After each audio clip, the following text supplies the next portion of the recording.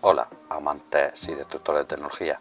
Hoy tenemos este Walder William Mis cojones 33, que menudo, menudo modelo, un modelo de mierda por cierto, que aparentemente no carga, porque le conecto el cable, se lo muevo y aquí no hace nada de nada.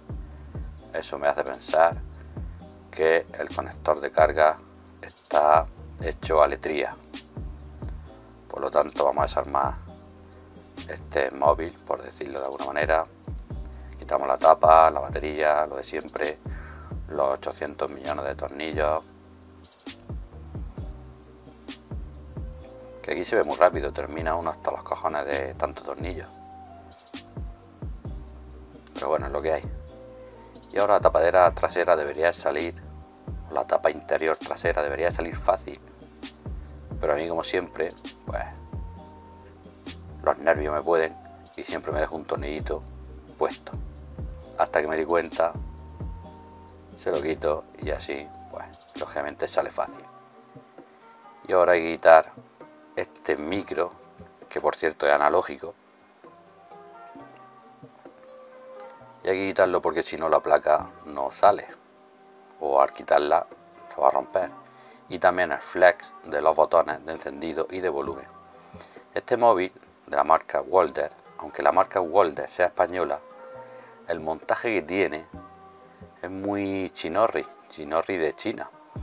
Me hace pensar que, aunque la marca sea española y se, y se venda aquí y se distribuye aquí, me parece que el montaje está hecho en China, pero en la parte de China de lo barato, de lo de poca calidad, ¿sabéis? Un poco chinorri, español y chinorri. Porque el montaje que tiene esto, los componentes que utiliza y la manera de, ensamblarlo todo un poco chinorri. Demasiado. Aunque sea la marca española, es pura basura. Ya lo veis, es muy chinorri. Me recuerda mucho a los ZTE y, y todas esas marcas raras que no valen nada. Bueno, pues una vez quitado la batería y esto, hay que despejar un poco al flex y bueno en esta ocasión vamos a utilizar el microscopio para ver realmente dónde está el fallo de este conector y así lo apreciáis bien. Y aquí como vemos tiene uno de los pines suelto bastante suelto aunque los otros también pero este está suelto o yo diría que partido. Está sujeto ahí un poco con el plástico pero está está partido. Y si no está partido, ya lo hemos terminado de partir. Ahí lo veis, está el pin suelto. Total, que ahora sí hay que cambiar el conector completo. Para eso, pues como siempre, ponemos la, la cinta Capton,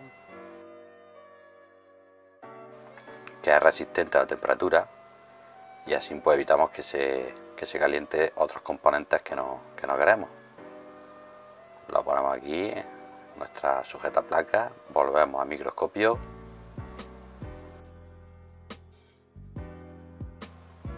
Le echamos un poquito de flux y con la pistola de calor, poquito a poco, poquito a poco, vamos dándole temperatura hasta que sale el puto conector. He dicho puto porque hay, a veces que, que se resisten muchísimo. Pero bueno, paciencia y al final tiene que salir. Lo importante es sacarlo sin llevarse ninguna pista para adelante, que estén las cinco pistas intactas, tal y como se ve. Y seguidamente tenemos que limpiar todos los agujeritos estos donde llevan estaño, que es donde encaja el conector, le echamos un poquito de estaño en pasta, que para estas cosas va muy bien. Ponemos nuestro conector, que por cierto es estándar.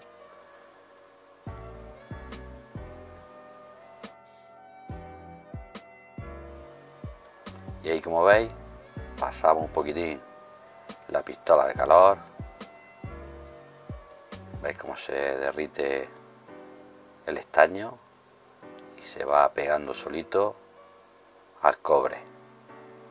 Y ahí hay un poquito se ha quedado ahí dos pines pegados juntos.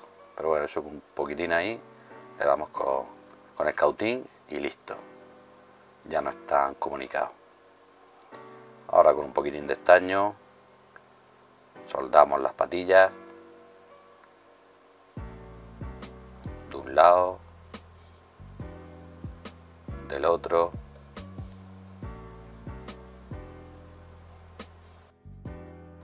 Y para que veáis que está bien soldado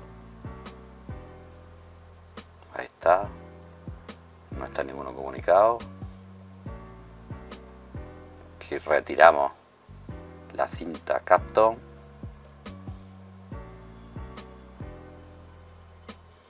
vamos a comprobar el voltaje si ha salido bien o no.